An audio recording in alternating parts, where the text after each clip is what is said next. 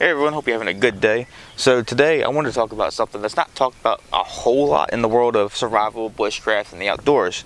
And that's um, how you can make soap or use some form of soap in the wild. Now there's a list of plants right here that all contain saponins. Saponins are a, a soap-like compound. They're antibacterial and they're antifungal. Now those don't grow anywhere near where I live currently. However, this does, and this is called yucca. There are over 40 different species of yucca, and um, they're actually an extremely useful plant. You can make cordage out of these, you can eat the roots as a tuber, you can weave baskets out of the uh, leaves, and in other species of yucca, the tips of the leaves actually have a needle-like protrusion on them, and if you break those needles off, fibers will come with it, and you can use it like a um, improvised sewing thread. It's a really cool plant, and it's really good to know about. This plant primarily grows in the southwestern and western United States. You can find it in eastern United States because uh, a couple different species of it were introduced out here and you will find it um, mostly around old home sites and occasionally, very rarely occasionally around uh, growing in the wild. But that's not that often.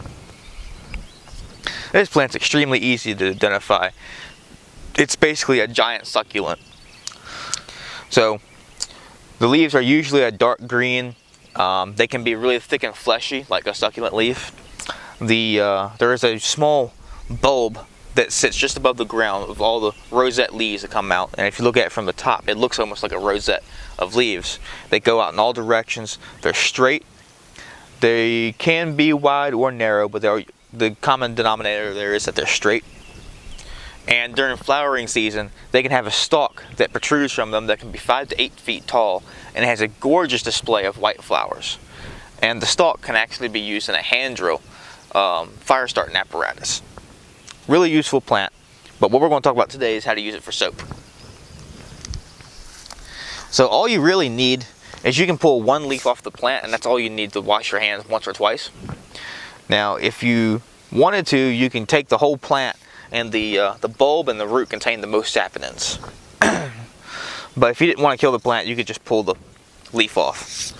So we're going to cut a leaf off.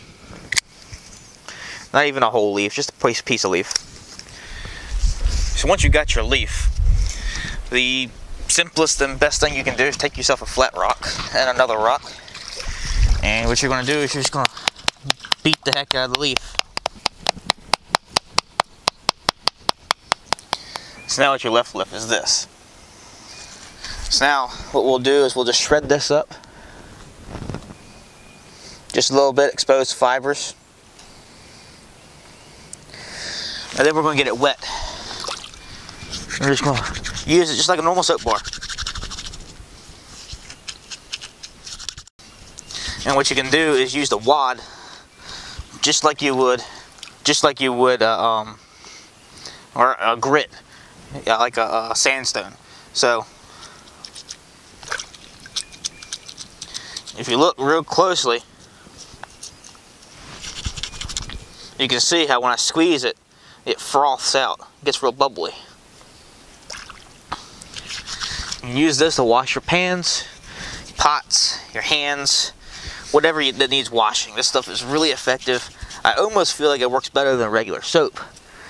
And then when you're done, you can just toss it in the woods or save it for the fibers. Then wash the green stuff, the saponins off your hands. And sparkling clean.